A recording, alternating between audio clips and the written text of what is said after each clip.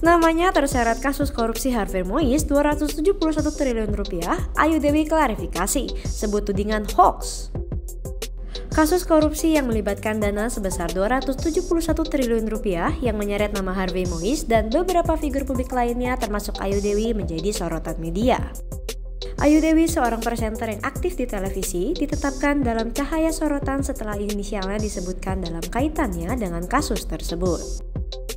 Meskipun belum memberikan ketanggapan resmi terkait tuduhan tersebut, lewat akun Instagram pribadinya, Ayu Dewi memajatkan doanya. Sebelumnya diberitakan, Iskandar Sitorus selaku perwakilan IAW mengatakan bahwa ada artis yang diduga ikut menampung uang hasil korupsi Harvey Mois. Artis tersebut pernah dibayar menjadi MC untuk acara penyerahan jet pribadi sebagai hadiah ulang tahun putranya, Rafael Mois.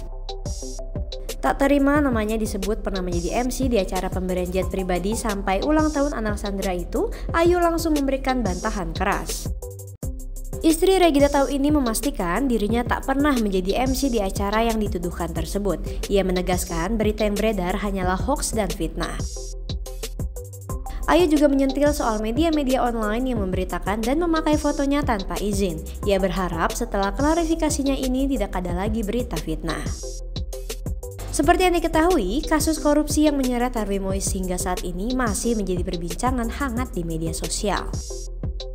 Apalagi disebutkan beberapa nama publik figur lainnya ikut terseret kasus yang merugikan negara hingga ratusan triliun tersebut.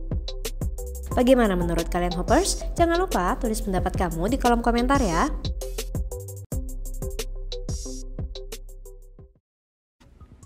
Baca berita selengkapnya di www.hops.id.